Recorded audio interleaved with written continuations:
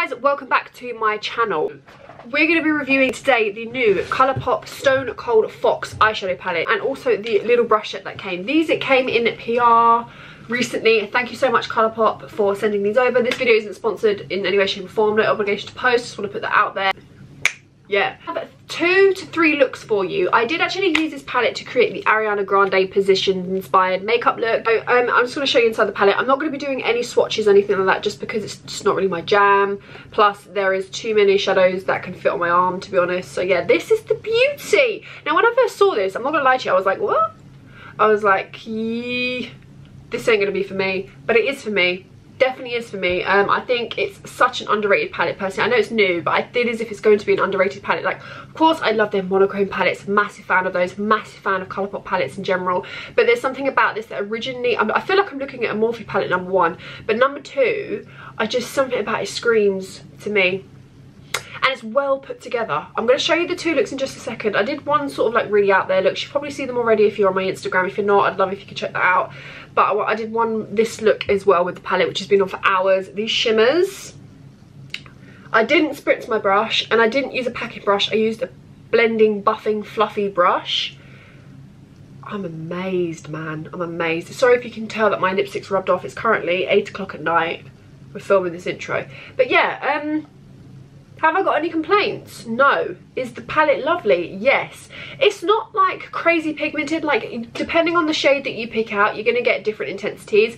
Now personally, I find that these bottom shades are lovely. They're lovely. These ones are really, really nice, the matte shades. Shimmers are very, very powerful. My personal opinion, I didn't have any trouble with any of the shimmers. I did use quite a few shimmers, so I can give you sort of verdict on those. The mattes, like these mattes, they're okay. They're not amazing, they are more transitional, but they do add like a slight tint of colour, um, especially if you're just doing an everyday, like if you just want an everyday look, this is a great one if you want to just have an everyday little like eyeshadow palette book thing. What? Book? What?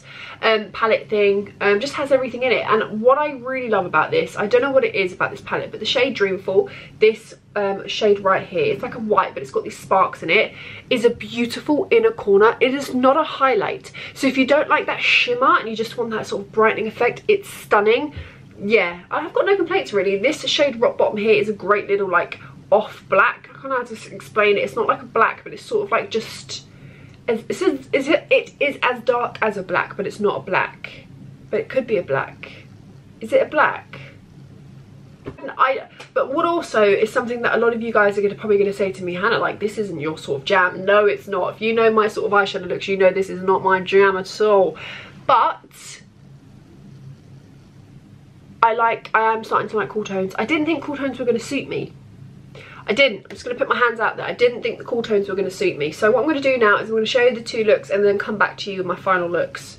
Okay, so of course taking the palette, I'm just going to show you the shades on the camera. I'm just going to start with this in the outer corner and sort of just build a little bit of depth. I don't want to go too, too harsh because I do want the focus of this eye look to be with the shimmer. As I said, I'm going to take a little bit of a depth and then I'm going to apply the shimmer with a fluffy brush. This was so easy to whack on and apply. Take this right up to the brow bone, add a little bit more depth for the lashes so that there's not a lash, so you can't really see the lash band.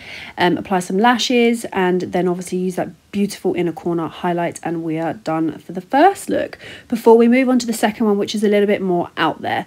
So taking the second look i'm going to go in with these shades as i show you and sort of like carve out your typical double cut crease. Then going with these sort of like cool tone browns. They sort of look warm but they're actually really cool tone. And then obviously um, deepen up with the darker colors and then going with that black as well. Cutting the crease this i absolutely love doing. And then applying that gray shade just throughout the crease as well just so you can leave a little bit of negative space add a little bit of shimmer like we did. Going with the Norvina Cake Liners, this white line, I wanted that negative space and plus that white liner to add a little bit of edge to the look. Add some lashes, add it in the corner highlight, and then we are done with the second look. These looks are super easy to do and I have pictorials on my Instagram. So you've seen the two looks. So am I overall impressed with this palette? Yes.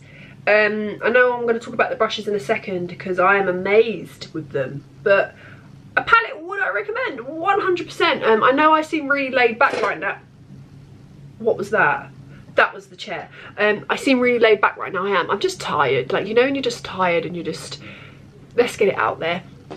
But yeah I've got no complaints really. I'm quite shocked really. I didn't think I was gonna like I thought this was gonna be a palette I'd be like yeah another friend of mine would probably like it more. No.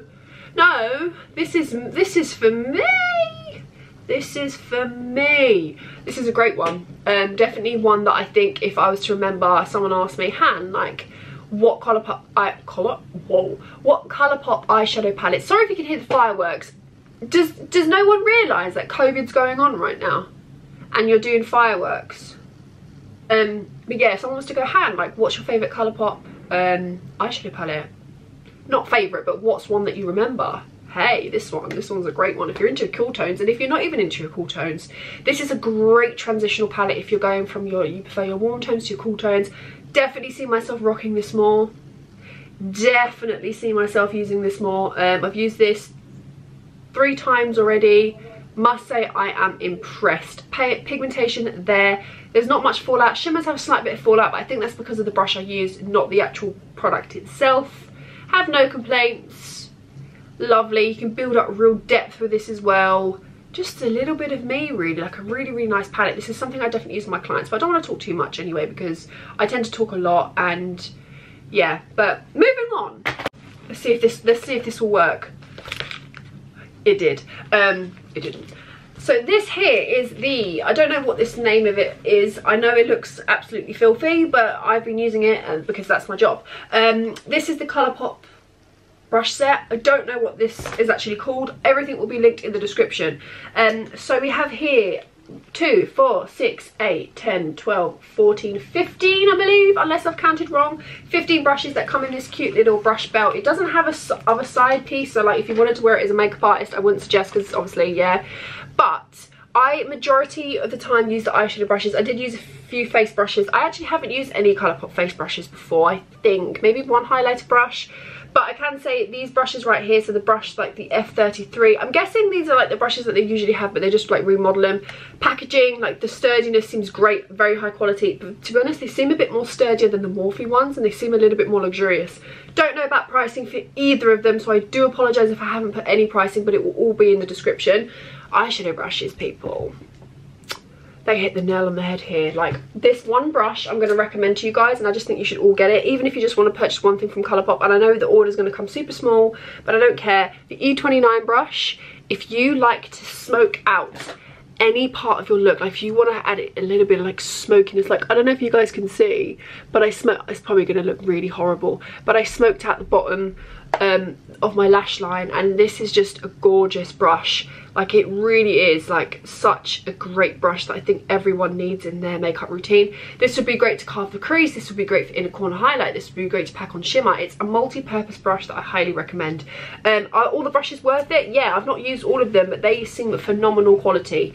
Absolutely no complaints. You'll see me use them in the looks that I have like obviously you know. Sometimes i find with brush sets that like I, I get a little bit annoyed because i don't end up i don't end up using every single brush but i can see myself using every single brush except from probably no I, I can literally see myself using every single one of these brushes and I don't even usually buy brush sets because they're just never they never cater to, for what or like every brush I use. I tend to get a brush set and there's like six out of like 15 brushes that I just won't touch. And I'm like well have I wasted my money? Probably. Not with this one though. This one's like it's hit the nail on the head. And I think the quality is just impeccable.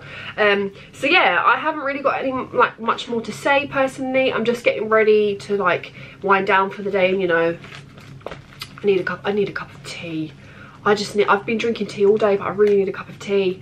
Um, but yeah, I really, really hope you do this video. Sorry that it hasn't been that well put together. It never is with me, is it, really, when you think about it? Like, when you actually deep, like, what my content is. Yeah, you see what I mean? I'm doing it again. But yeah, thank you so much for watching. I really, really appreciate it. Let me know if you have any questions in the description bar, uh, description bar, comment section. Please follow my Instagram, which would be great. Also my TikTok. I'm doing more TikToks these days, trying to focus on just out doing like you know getting out there into the world and yeah i thank you so much for watching once again please share with your friends and family like comment you know subscribe do the whole typical youtuber stuff but yeah thank you so much for watching